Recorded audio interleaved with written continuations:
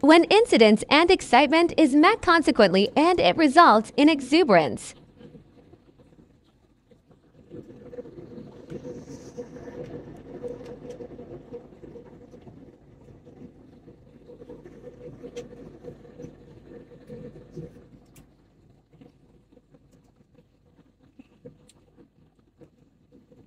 This moment, I really feel magnificent.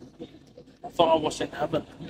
By the time I reached uh, to a different scenery, it looks like everything was lively and you feel like you're in heaven and paradise.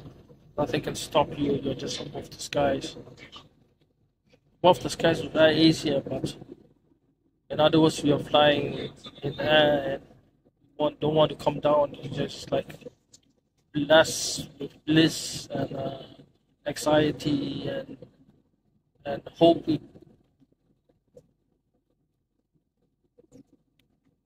What do you presume the future will be?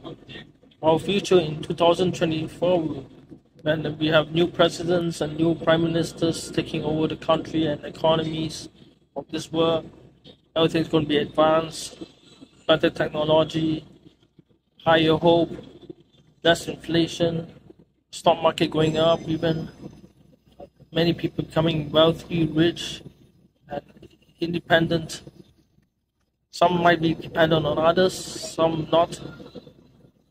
When we make our path and our rank in 2023 and see where it goes with achieve, achievement and success,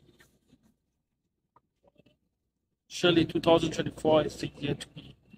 2023 is the, the year we travel and enjoy and relax and don't think of anything that's irritated and uh, agitated and stressful.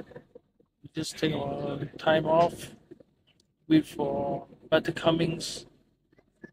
And Christmas is just there, just for us.